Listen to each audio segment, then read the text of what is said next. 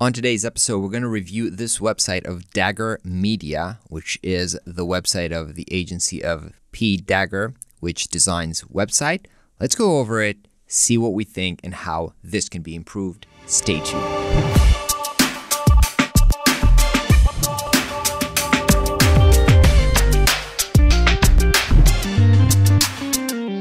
Hey everybody, what's up? My name is Ran Segall. Welcome back to another portfolio review. Every once in a while I do these portfolio reviews. I've asked on my Instagram account, drop me your link and I'll review your website. If you're not on my Instagram, make sure you're there so that I can review your website as well. Let's get started with this review of Dagar Media. So let's get started with the message. We design website that gets you real results. Design, build, improve websites for fitness and medical niche fast within 24 hours. So let's get started talking about the message before we go uh, on to talk about the design. First of all, I think that it's pretty good that he's talking about actually solving business problems. A lot of people you would go into their portfolio and it will be just like, we do web design.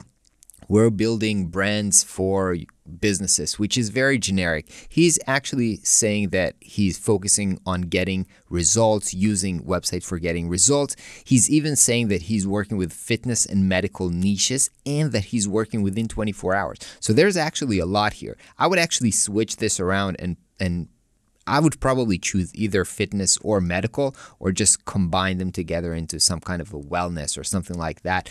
Um, and I would state that in the big headline like, we get results, we design websites that get results for fitness and medical businesses. I wouldn't say niche here, but I would say businesses.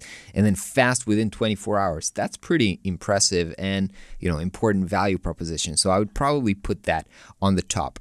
Now, looking at the actual design, there's a few things here. First of all, when we're talking about hierarchy, which is what is the thing that you see first in the first 10 seconds, probably when you're looking into the website.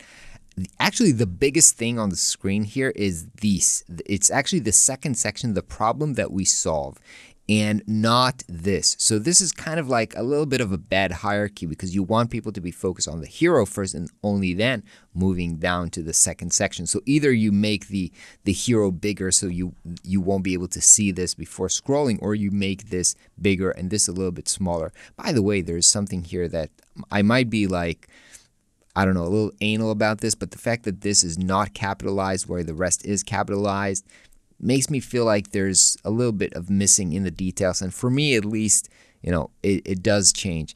Um, so I would change the hierarchies. I'll probably make this bigger and this smaller. Now, this one, probably, I don't know, to be super honest, I feel like maybe it's because I live in the design industry, but I see these illustrations all over the place. And so Eh, for me at this point, it feels a little bit generic, but I have to say that we have to think about this from the perspective of the business owner. Maybe people in the fitness and medical businesses don't see these images that often. But then again, I think if you know that you're working with people in fitness and medical, why don't you show images that are relevant to them that will immediately make them recognize themselves? Oh, this person or this agency works with clients like me. You want them to feel immediate recognition. So I'd probably pick a different visual. Now, I do think there's good call to action, book a free call. However, look at this. It's actually not aligned, which is there's few things here in the details and that, that matter to me because when you're looking for a designer, you expect them to be kind of like pixel perfect. And when you see things, now the client might not notice this like me that things are not aligned, but you know, they do get the feeling of messiness versus order. And so you want to make sure that things are actually aligned. Also, you know, when I hover over this, it becomes white over, you know, or uh, yellow, which is not very readable. Now, this is actually good, but I've actually watched the click video and was pretty disappointed to see that, you know, the, the YouTube account was closed. So either remove this or actually make sure that you have your video off. Because this, again, feels like if this is broken, are you going to do like broken stuff for my business as well?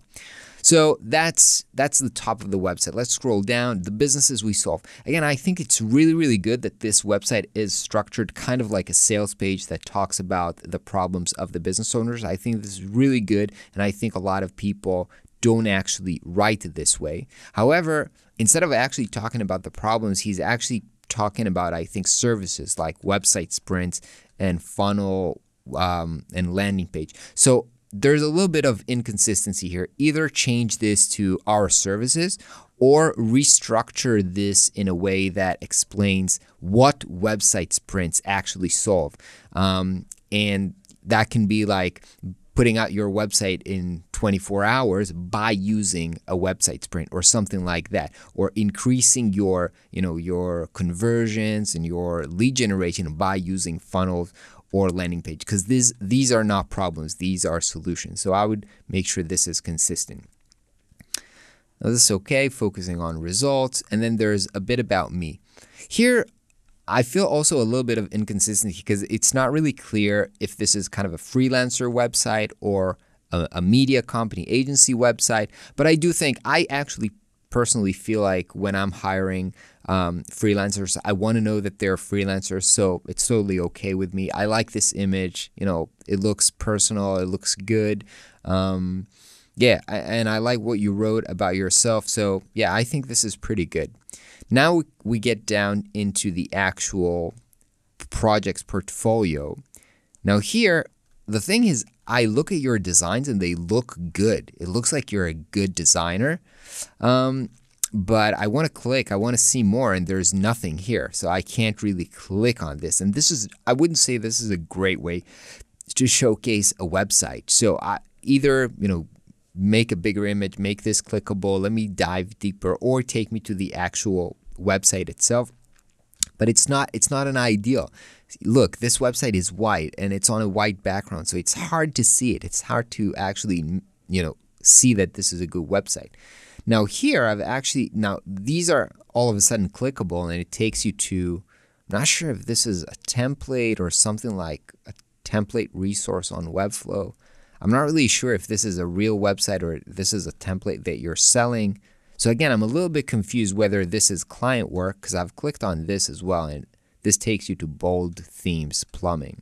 So now I'm confused. Either you're buying themes or you're selling themes or I'm a little bit confused whether this is actually, you know, uh, your work or work for clients. So I'm a little bit confused and I think if you're selling themes, I wouldn't think it's appropriate to show them as your portfolio for client work just because I think it's a different different kind of thing. I would put this as an offer for clients to purchase, but I wouldn't put them as in portfolio. I, I think it makes sense.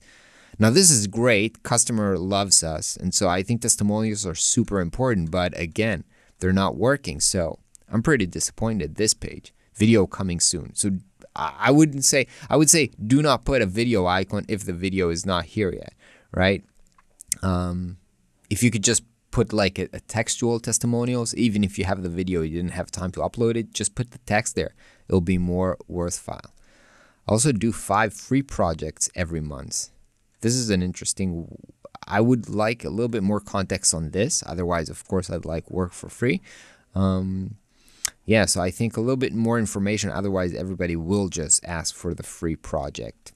Anyway, Dagar, I hope thank you for you know posting your link for review. I hope some of these things were helpful for you in order to improve and fix up your website a little bit. Overall i think you're doing good job and you're a, a little bit more far ahead of a lot of other portfolios that i see but i think there's some things here that can be improved and it's all in the details. Remember your clients are hiring you to create great high-end pixel perfect websites for them so make sure that your website itself is pixel perfect and at least looks great and decent and everything works in it. Let me know in the comments what you thought about this website and I'll see you on the next video.